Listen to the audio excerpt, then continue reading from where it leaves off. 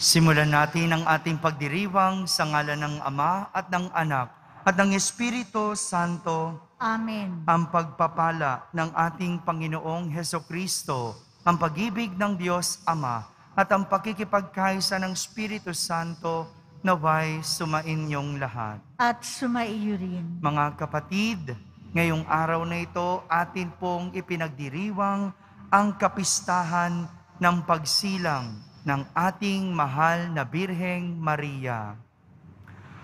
Upang tayo'y maging marapat gumanap sa banal na pagdiriwang, aminin muna natin at pagsisihan ang ating mga kasalanan.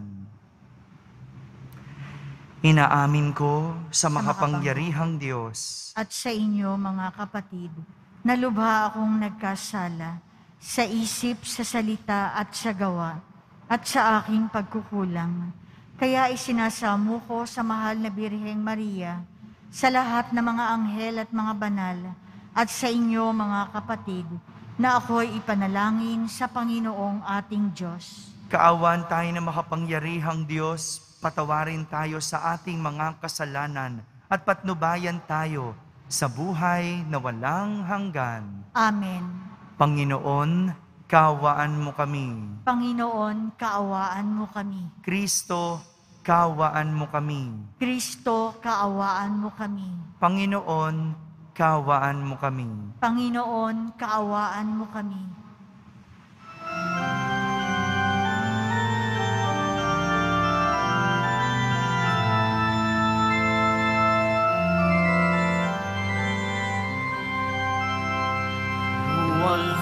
sa Diyos sa kaitaasan, kaloob sa lupa ay kapayapaan.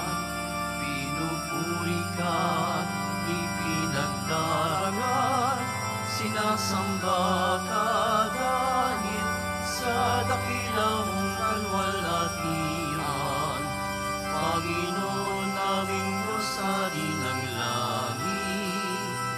Amang makapangyarihan,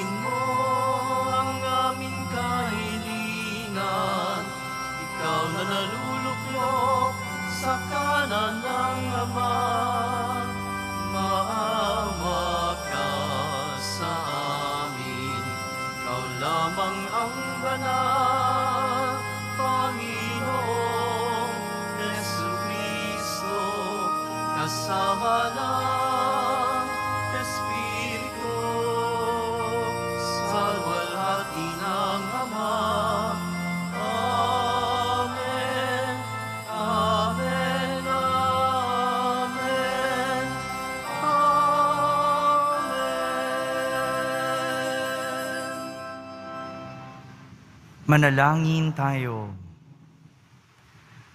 Ama naming makapangyarihan, igawad mo ang iyong kaloob sa iyong angkan upang ang mga nagkamit ng pasimula ng kaligtasan sa ipinanganak na Kristo ng Birheng Mahal ay makatanggap ng ibayong kapayapaan sa kapistahan ng pagsilang ni Mariang Ina ng Tanan sa pamamagitan ni Yeso Kristo kasama ng Espiritu Santo magpa sa walang hanggan. Amen.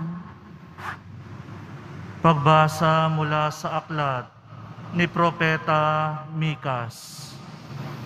Ito ang sinasabi ng Panginoon.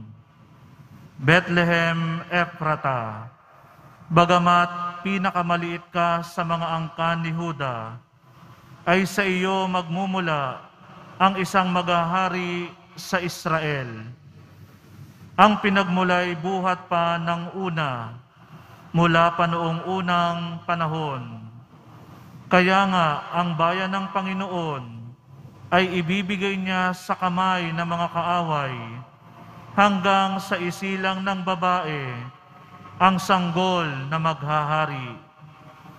Pagkatapos babalik sa Israel ang nalabi sa bansang ito. Pagdating ng haring yaon, pamamahalaan niya ang Israel sa pamamagitan ng kapangyarihan ng Panginoon. Taglay niya ang kadakilaan ng pangalan ng Panginoon na kanyang Diyos. At ang Israel ay mamumuhay na ligtas sapagkat ang haring yaon ay kikilalanin ng buong sanlibutan. Sa Kanya magmumula ang kapayapaan natin. Ang salita ng Diyos. Salamat sa Diyos. Ang lubos kong kasiyahan ay magalak sa may kapal. Ang lubos kong kasiyahan ay magalak sa may kapal. Lubos akong nananalig sa pag-ibig mong matapat. Nagagalak ang puso ko dahil sa iyong pagliligtas. Ang lubos kong kasiyahan ay magalak sa may kapal. Aawitan kita, poon, aawitang buong galak. Dahilan sa kabutihang sa akin ay iginawad. Ang lubos kong kasiyahan ay magalak sa may kapal.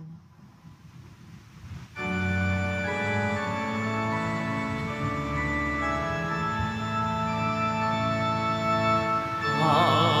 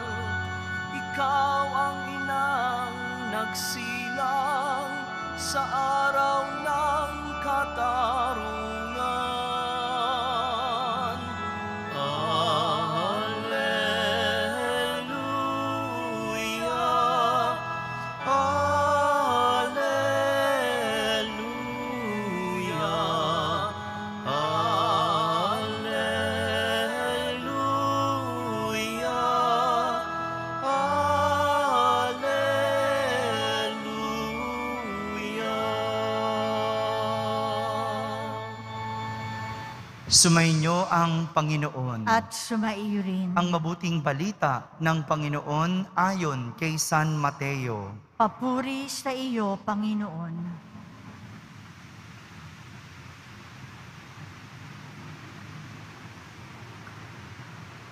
Ganito ang pagkapanganak kay Heso Kristo. Si Maria na kanyang ina at si Jose ay nakatakda ng pakasal. Ngunit bago sila nakasal, si Maria ay natagpo ang nagdadalang tao. Ito'y sa pamamagitan ng Espiritu Santo. Isang taong matuwid itong si Jose na kanyang magiging asawa, ngunit ayaw niyang mapahiya si Maria, kaya ipinasya niyang hiwalayan ito ng lihim. Samantalang iniisip ni Jose ito, napakita sa kanya sa panaginip ang isang anghel ng Panginoon. Sabi nito sa kanya, Jose, anak ni David, huwag kang matakot na tuluyang pakasalan si Maria sapagkat siya'y naglihi sa pamamagitan ng Espiritu Santo.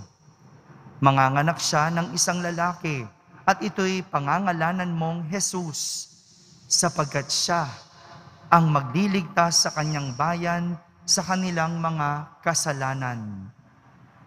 Nangyari ang lahat ng ito upang matupad ang sinabi ng Panginoon sa pamamagitan ng propeta.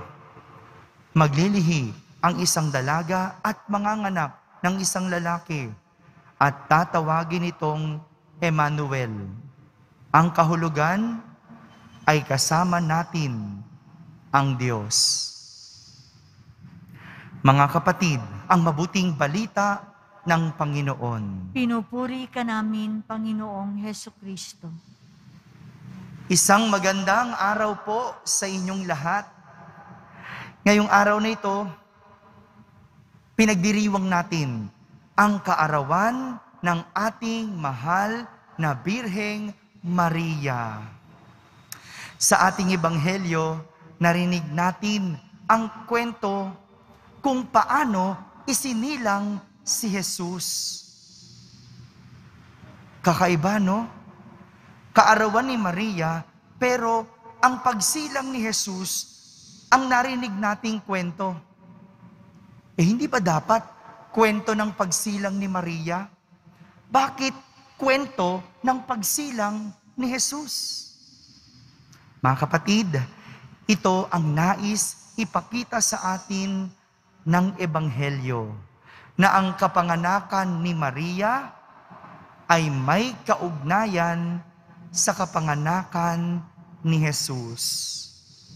Ang gandang ugnayan dahil ang buhay ni Maria bilang tao ay kaugnay ang Diyos.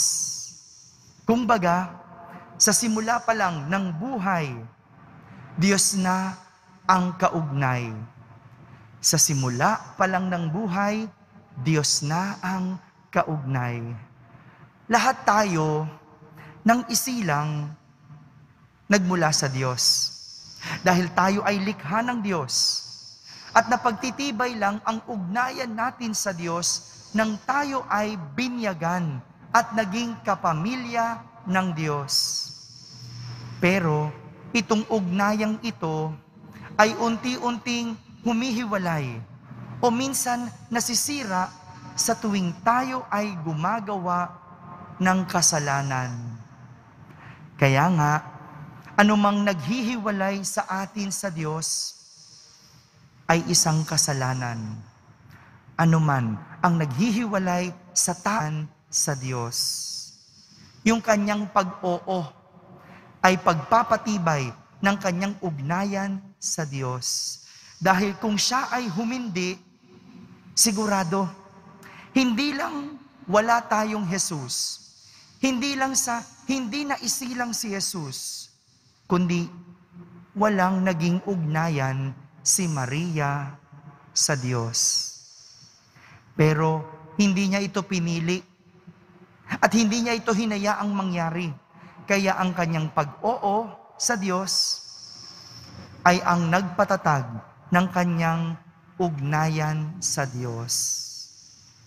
Sa dami-dami ng ating pinagdadaanan ngayon, pabago-bago na mga patakaran, sa dinami-dami ng mga hindi nating inaasahang pangyayari, padami ng padami, Lagi nating isaalang-alang nawa ang ating ugnayan sa Diyos. Ito yung dapat hindi mawala.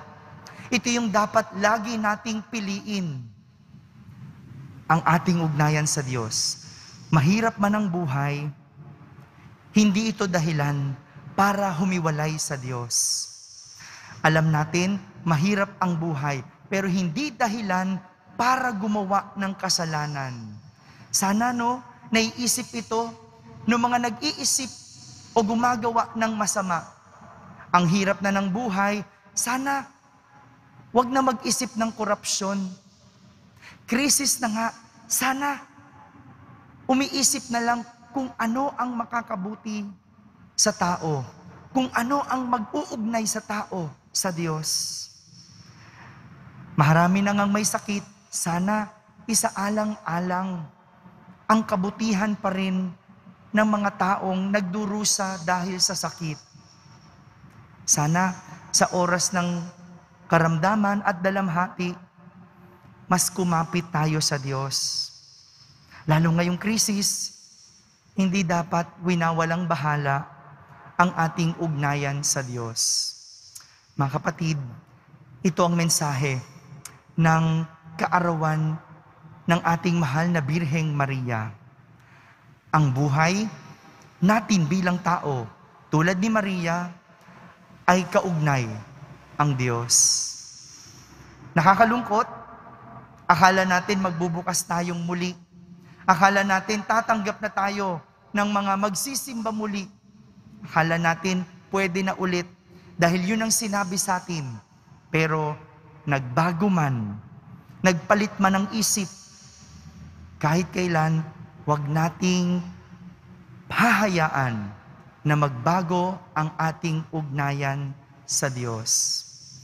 Ang kaarawan ni Maria ay isang paalala na ating buhay ay isang buhay na kaugnay ang Diyos. Kaya't walang bibitaw. Tuloy lang ang buhay. Lalaban tayo na ang Diyos ang kasabay. Bulong mo ngayon sa iyong panalangin. Happy birthday, Mama Mary. Amen.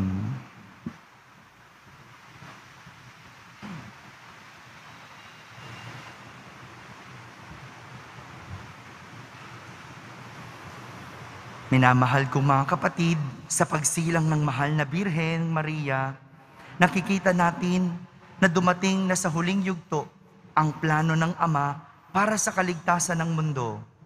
Habang siya ay nasa ating tabi, manalangin tayo sa Diyos na lumalang sa Kanya ng lubos na pinagpala. Ating sambitin sa bawat panalangin. Sa pamamagitan ni Maria, pagpalain mo kami, O Ama. Sa pamamagitan ni Maria, pagpalain mo kami, O Ama. Ang simbahan naway walang takot na ipahayag ang ebanghelyo na ipinagkatiwala sa kanya ng anak ni Maria. Manalangin tayo. Sa pamamagitan ni Maria, pagpalain mo kami, O Ama. Ang mga walang pananampalataya naway lumapit sa Panginoon na nagkatawan tao upang iligtas ang kanyang bayan sa kanilang mga kasalanan. Manalangin tayo. Sa pamamagitan ni Maria, pagpalain mo kami, O Ama. sa ating mga ina, naway maibigay natin ang nararapat na pagmamahal at paggalang na kailangan nila. Manalangin tayo. Sa pamamagitan ni Maria, pagpalain mo kami, O Ama. Sa tulong ng mga panalangin ni Maria, naway maibalik sa kawan ang mga tumalikod sa pagtupad ng kanilang pananampalataya. Manalangin tayo. Sa pamamagitan ni Maria, pagpalain mo kami, O Ama. Atin nawang tanggapin si Jesus sa Eukaristiya bilang Diyos na kapiling natin. Manalangin tayo. Sa pamamagitan ni Maria, pagpalain mo kami, O Ama. Sa katahimikan, ating ilapit sa Diyos ang ating mga pansariling kahilingan.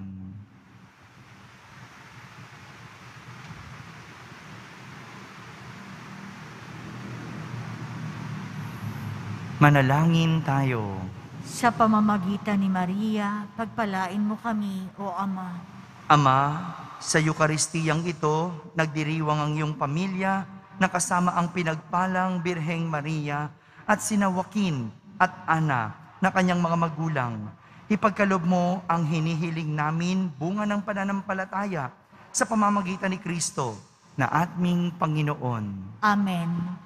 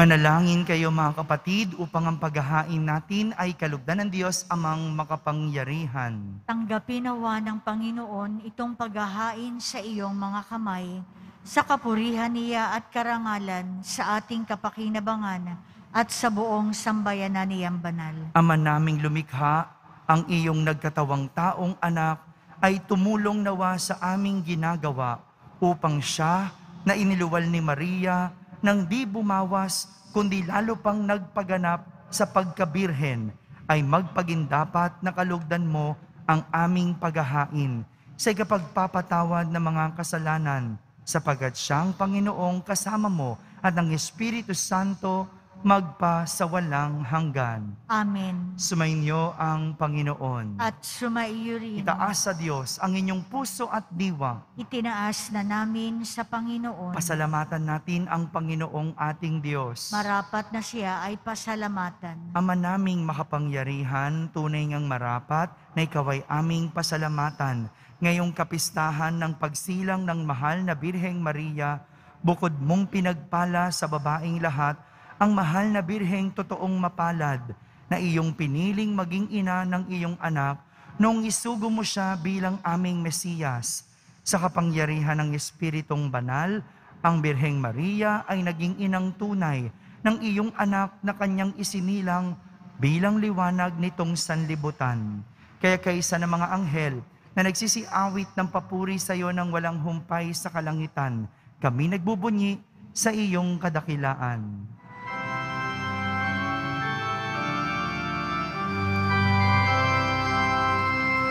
Banal ka, poong may kapal, banal ang iyong pangalan, banal ang iyong kaharian, langit lupa'y nagpupugay sa iyong kadakilaan, dinarakilan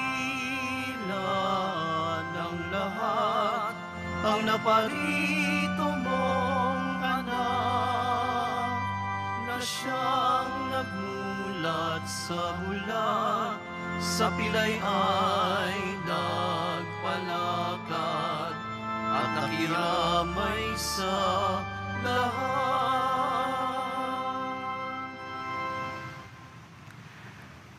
Ama naming banal, ikaw ang bukal ng tanang kabanalan. Kaya't sa pamagitan ng iyong Espiritu, ay gawin mong banal ang mga kaloob na ito upang para sa amin ay maging katawan at dugo ng aming Panginoong Heso Kristo. Bago niya pinagtiis ang kusang loob na maging handog, hinawakan niyang tinapay, pinasalamatan kanya, pinaghati-hati niya iyon, iniabot sa kanyang mga lagad at sinabi, Tanggapin ninyong lahat ito at kanin. Ito ang aking katawan na inihahandog para sa inyo.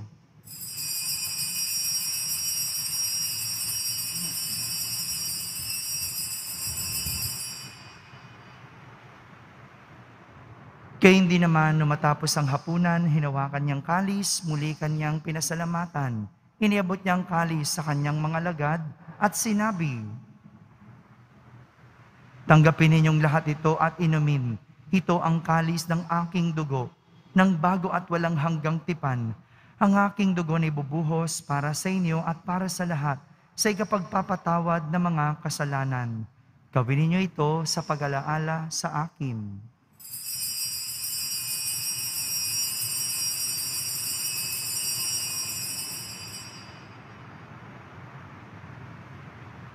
Ipagbunyi natin ang misteryo ng pananampalataya. Si Kristo'y namatay, si Kristo'y nabuhay, si Kristo'y babalik sa wakas ng panahon. Ama, ginagawa namin ngayon ang pag-alaala sa pagkamatay at muling pagabuhay ng iyong anak.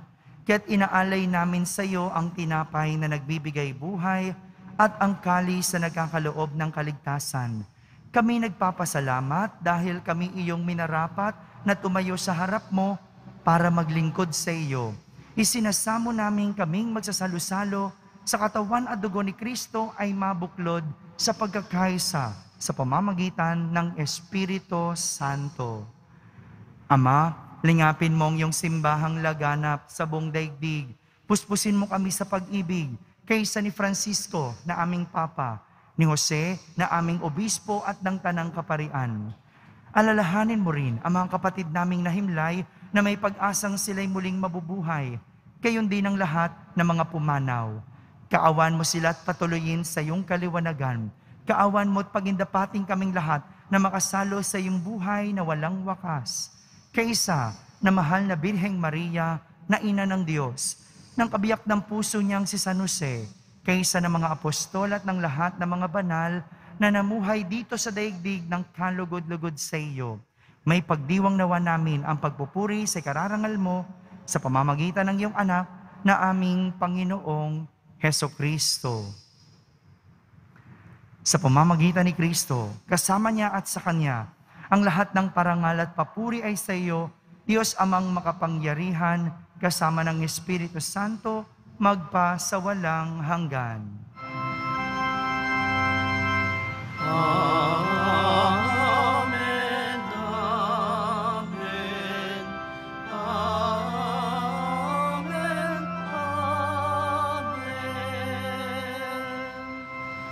Sa tagubilin ng mga nakahagaling na utos at turo ni Jesus na Panginoon natin at Diyos, ipahayag natin ng lakas loob.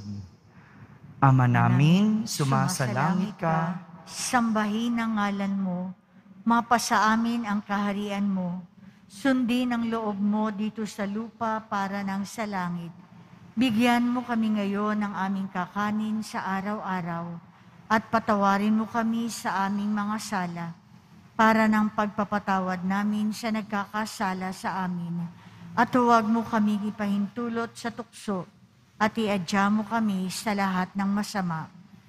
hinihiling namin kami iadya sa lahat na masama, pagkaloban ng kapayapaan araw-araw, iligtas sa kasalanan at ilayo sa lahat ng kapahamakan, samantalang aming pinananabikan ang dakilang araw ng pagpapahayag ng tagapagligtas naming si Heso Kristo. sapagkat iyo ang kaharian at ang kapangyarihan at ang kapurihan magpakailanman. Amen. Panginoong Yeso Kristo, sinabi mo sa iyong mga apostol, kapayapaan ang iniiwan ko sa inyo, ang aking kapayapaan ang ibinibigay ko sa inyo. Tunghayan mo ang aming pananampalataya at wag ang aming pagkakasala. Pagkaloban mo kami ng kapayapaan at pagkakaisa ayon sa iyong kalooban, kasama ng Espiritu Santo, magpa sa walang hanggan. Amen. Ang kapayapaan ng Panginoon ay laging sumainyo. At sumaiyo rin. Magbigayin kayo ng kapayapaan sa isa't isa. Kapayapaan po para sa lahat. Kordero ng Diyos na nag-aalis ng mga kasalanan ng sanlibutan, maawa ka sa amin. Kordero ng Diyos na nag-aalis ng mga kasalanan ng sanlibutan, maawa ka sa amin. Kordero ng Diyos na nag-aalis ng mga kasalanan ng sanlibutan, ipagkaloob mo sa amin ang kapayapaan.